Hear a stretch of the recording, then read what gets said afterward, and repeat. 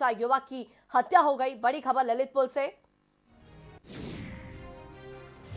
प्रेम प्रसंग के चलते हत्या की आशंका जताई जा रही है। मामला दर्ज कर जाँच में जुटी है पुलिस। थाना बार क्षेत्र के डांग बरोदा गाँव की यह घटना बताई जा रही है। बड़ी खबर आपको बता रहे हैं। ललितपुर से, जहाँ पर चार दिन से लापता युवक की हत्या हो गई है। आपको बता दें कि प्रेम प्रसंग के चलते हत्या की आशंका जताई जा रही है। मामला दर्ज कर जाँच में जुटी है पुलिस। थानाबार क्षेत्र के डांग बरोदा गाँव की यह घटना बताई जा रही है।